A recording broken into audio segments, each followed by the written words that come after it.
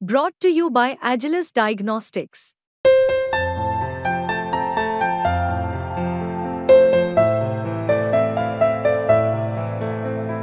Agilus Diagnostics. Hello everyone welcome to Sports तक मैं हूं खुशी गुप्ता Indian team के टी ट्वेंटी वर्ल्ड कप के जो लीग मैचेस हैं, वो खत्म हो चुके हैं, जहाँ पर तीन मैचेस हुए थे न्यूयॉर्क में और एक आखिरी मैच था फ्लोरिडा में। उसके बाद एक अपडेट आता है, जहाँ पर पता चलता है कि जो चार रिजर्व्स हैं इंडियन टीम के, जिसमें शुभमन गिल है, आवेश खान है, खलील अहमद है और रिंकू सिंह है, वहाँ पर ये अपडेट आता है कि जो ये लीग मैचेस थे, उसके बाद दो खिलाड़ी, यानी कि शुभमन गिल और आवेश खान को टीम इंडिया ने रिलीज़ कर दिया है कि वो आगे करेबियन लेग के लिए नहीं जाएँगे। वहीं पर रिंकू सिंह और खलील अहमद आगे करेबियन लेग में भी टीम के साथ रहेंगे। अब इस पर बहुत सारे र्यूमर्स आने लगे, बहुत सारी रिपोर्ट्स आई, जिसमें ये कहा गया कि शुभमन गिल पर डिसिप्लिनरी इशू था, इस वजह से उनको टीम से रिलीज़ कर दिया गया है। वहाँ पर ये बातें हुई कि टीम के साथ शुभमन गिल नहीं है, वो ना प्रैक्टिस पे दिख रहे हैं और ना ही वो टीम के साथ रहते हैं। तो उनके साथ डिसिप्लिनरी इश्यूज़ हैं, जहाँ पर वो इधर उधर जाते हैं और टीम के साथ नहीं है। इस वजह से उन्हें वहाँ से रिलीज़ कर दिया गया है। लेकिन इस पर शुभमन गिल ने एक खास पोस्ट डाला है, जो हम आपको इस वीडियो में बताएँगे।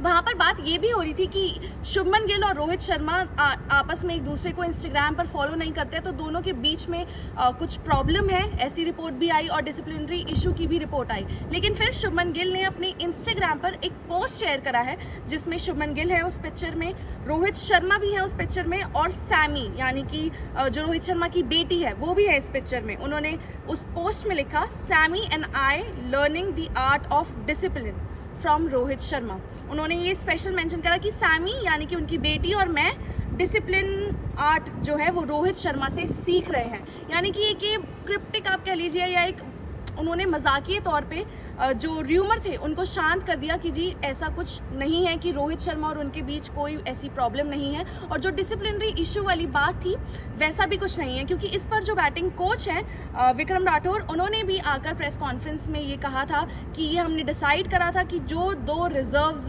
होंगे, वो लीग मैचेस के बाद वापस आ जाएँगे और दो रिजर्व्स वो आगे हमारे साथ करीबी लेग में जाएँगे।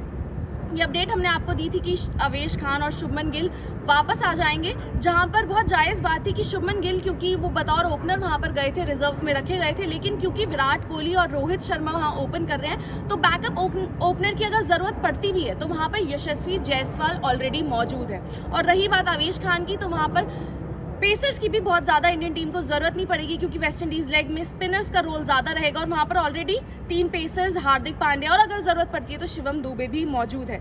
तो ये थी पूरी अपडेट जिस पर उन्होंने बताया है कि जी, जो भी र्यूमर्स चल रहे थे, वो सब कुछ सच नहीं था। और ये वीडियो अगर आपको अच्छी लगी हो तो इसे लाइक करें शेयर करें और कमेंट करें। स्पोर्ट्स तक एक ऐप है जिसे आप डाउनलोड कर सकते हैं और स्पोर्ट्स तक की एक वेबसाइट भी है जिसको जाकर आप विज़िट कीजिए। बहुत लंबा हो गया इंतज़ार। क्या फाइनली इस बार वर्ल्ड कप जीतने का सपना हकीकत में बदलेगा। वर्ल्ड कप की सारी कवरेज हमारे और आपके साथ। कहा?